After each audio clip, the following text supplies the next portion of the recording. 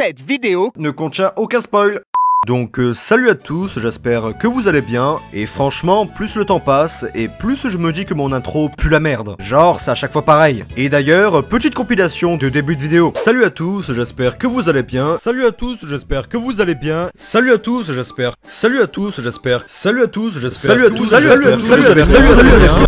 Je pense que ça n'a jamais été aussi casse-couille d'entendre ma propre voix. Mais bref, sinon, j'espère réellement que vous allez bien, j'espère que vos examens se sont bien passés, j'espère que votre reprise de cours en présentiel aussi.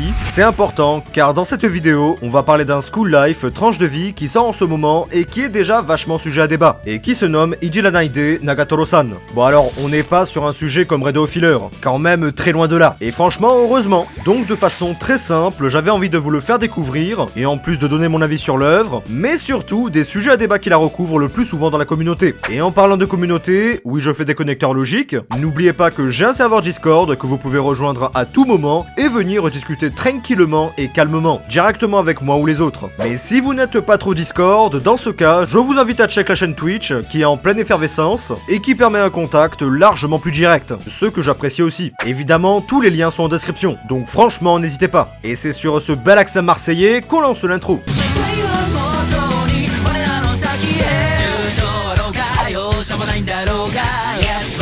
のか。そんなことは聞くな。ほら相手がなんだろうが好きにしたいんだ。Yes そうはのか。そんなのは Yes だ。ほら。ひもとうまるちゃん R はご覧のスポンサーの提供でお送りします。Ijilanaide Nagatoro-san est un shonen qui a pour genre comédie, romance, tranche de vie et pour thème harcèlement. L'œuvre a tout d'abord fait ses débuts en manga par l'auteur Nanashi en 2017, comptant aujourd'hui un total de 10 volumes et continuant toujours de sortir. Et directement après le manga, sort directement l'adaptation animée, faite par les studios Telecom Animation Film, le studio qui a également fait Tower of God pour ceux qui connaissent, et licencié en France par Crunchyroll et ADN. L'anime a commencé début avril et continue toujours aujourd'hui pour se finir plus tard avec 12 épisodes. L'histoire de l'œuvre nous fera suivre le quotidien de la jeune fille au nom éponyme de Nagatoro-san, une lycéenne de 15 ans, tout ce qu'il y a de plus banal et de plus détestable pour son comportement, mais la chose est que c'est pas vraiment sur elle que les projecteurs vont être rivés, mais plutôt sur... Euh... Hmm... Hmm... Hmm...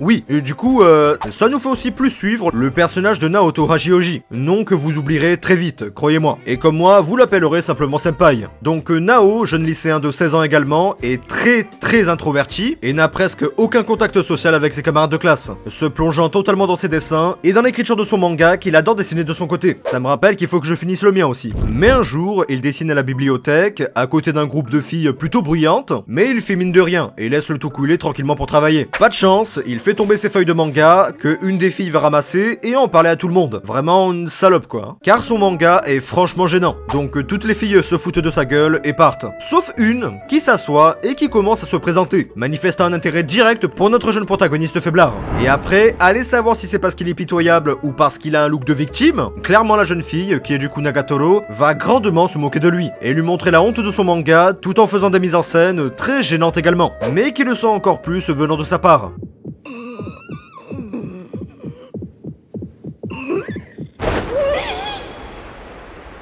C'est nul. C'est pas bien. J'ai bien aimé le... Bah rien en fait, tu manques de, talent. Personne n'aime ici, ok. T'as pas de en plus physiquement parlant. Bref, et après avoir été durement mis devant la réalité de son impuissance face à une gamine d'un an de moins que lui, il se met à pleurer, se fait sécher ses larmes par la gamine, et rentre chez lui comme l'immense victime qu'il est. Allez faire regarder ça aux gens qui disent que Subaru est une victime, hein. Et c'est ainsi que tout commence, et que Nagatoro va se donner la mission symbolique d'embêter son senpai tout le long de son quotidien, car cela est très divertissant, et ses réactions ne font pas que l'aider. Donc euh, principalement, on va la suivre le victimiser, parfois avec beaucoup d'humour et de quiproquo, on va suivre senpai se faire victimiser encore plus, mais avec au final un début de sentiment entre les deux qui va se développer et attiser notre intérêt envers la chose. Mais alors, si ça a l'air si bien, pourquoi c'est autant sujet à débat? Bah déjà, c'est moi qui pose les questions ici, et deuxièmement, j'allais y venir en passant à la suite.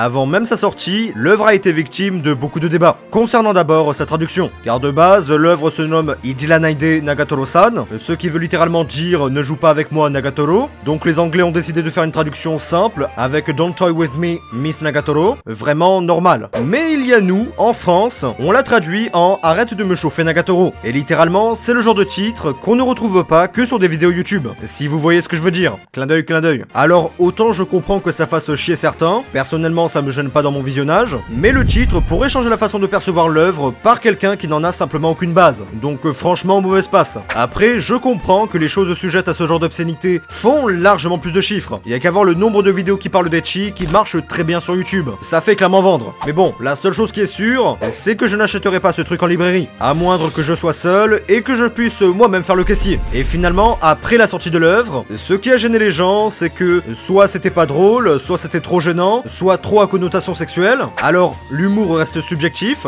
Oui, c'est gênant et c'est le but. Et pour les connotations sexuelles, le souci, c'est que je vois très bien de quoi on veut parler dans ce genre de cas. On y voit clairement un schéma qui se veut un peu obscène de temps en temps, mais du moins de notre point de vue. Car la chose qu'on oublie, c'est que ce sont encore des ados. Dans le sens où ils sont encore jeunes et que dans ce genre de période de la vie, tu es en construction et en recherche d'identité. Ce qui fait que t'aimes bien briser les codes et relever les interdits. Parler ou faire des références à ce genre de choses qui sont tabous étant gosse, mais que tu peux maintenant dire librement, n'importe quel adolescent le fait. C'est totalement normal. La chose sur laquelle je pourrais le trouver un peu moins, c'est que généralement, c'est le genre de délire chelou qu'on garde pour nous. Donc finalement, tout à fait normal de trouver ça gênant, perturbant ou même pas normal du tout. Mais avec cette vision des choses, franchement, ça le fait. Et on finit par faire la conclusion que c'est une sorte de Takagi-san, mais version ado et beaucoup plus hard. Et je pense que si je n'avais pas continué, j'aurais été du même avis que tous les détracteurs de l'œuvre. La chose est que juste de voir une victime se faire victimiser de façon nulle, et voir des fois un peu de façon tentatrice, qui peut nous laisser sans voix, bah c'est franchement nul. Et au début, c'est vraiment que ça. Donc mon objectif, à ce moment-là, était de déceler où était l'intérêt. L'objectif, la finalité de tout ça. Car même de simples tranches de vitre et chill en non. J'en attendais au début vraiment pas grand-chose. Et finalement, j'ai trouvé. Du moins, je pensais avoir trouvé. Car dans le deuxième épisode, en effet, le personnage de Nagatoro n'a l'air de s'ouvrir que expressément à Senpai, et à personne d'autre. Peut-être que cela allait amener sur un développement de relations sur l'expression et acte de chacun avec la personne qu'on apprécie, je me suis posé la question. Mais dans ce cas, pourquoi seulement lui qu'elle vient de rencontrer et pas un autre? Et dans les autres épisodes, je pense avoir eu ma conclusion. C'est en fait que la relation, qui a commencé de façon très spontanée, finisse par changer les deux. Bon, certes, pour l'instant, c'est plus Nagatoro qui change Senpai que l'inverse. Mais les débuts de sentiments réciproques vont peut-être changer la donne, et rendre un truc plutôt pas mal. J'ai remarqué que les deux ont des personnalités tellement éloignées que c'était ultra improbable qu'ils se rencontrent un jour. Mais une fois le premier contact fait, on se rend compte qu'ils sont plutôt pas mal ensemble. Elle adore embêter les gens et lui se laisse totalement faire. Limite, c'est gagnant-gagnant. Et donc, on se met un peu plus dans le truc. On a envie de savoir pourquoi lui, on veut en savoir plus sur les personnages, pourquoi Nagatoro agit-elle ainsi, et globalement, dans ma recherche de l'intérêt de tout ça, j'ai bien apprécié tout le long. En gros, la série te laisse une étoile lointaine d'objectifs à atteindre et rend la route vers celui-ci finalement plutôt agréable. Des fois, ça peut être mignon, assez drôle ou juste divertissant et intéressant. Et je pense que c'est pour ça que la série possède un potentiel qui vaut d'être vu. Donc je vous conseille vivement de regarder, parce que vous ne le regretterez pas. Et dans le pire des cas, ça sera juste histoire de vous faire un avis. Bon, évidemment, l'animé a tout sauf fini, donc euh, impossible de pré-shoot s'il va y avoir une saison 2 après ou pas. J'en ferai une vidéo après celle-là pour vous dire, histoire de. Et si la fin s'avère éclatée, bah j'irai cracher ma haine sur vos écrans, comme pour la vidéo de TPN. Bref, maintenant je demande plus, mais sachez que si la vidéo vous a plu, vous pouvez mettre un like, et pourquoi pas vous abonner tant qu'on y est, c'est gratuit, et en plus ça prend qu'un clic. L'affaire du siècle. Oh.